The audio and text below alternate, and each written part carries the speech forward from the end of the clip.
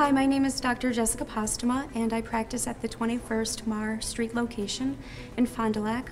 I specialize in all problems of the foot and ankle or podiatry. My interest in the subspecialty of podiatry began when I was a young lady and I was involved in a motor vehicle accident. I unfortunately was hit by a semi and I didn't sustain bad injuries, but I was bedridden for a while. After this incident, I healed very quickly, but while I wasn't able to walk, it gave me time to think, and I realized how important it is when your feet hurt and your legs hurt and you can't walk.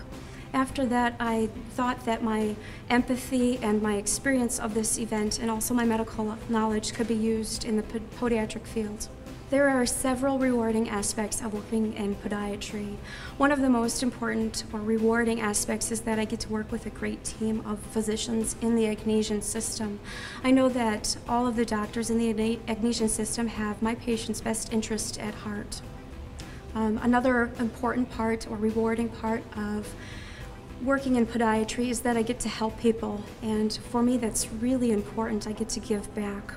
One of the reasons why I chose to work in Agnesian healthcare was because growing up I always had Agnesian doctors. Not only myself, but my family, my parents, my aunts and uncles, my grandparents, they all had Agnesian doctors.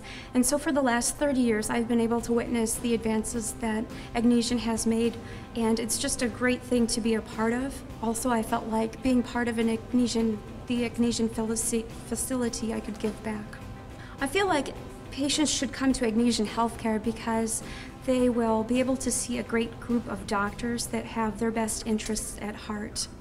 Continuity of care in podiatry means that not only do we look at the foot and ankle, but we look at the body as a whole.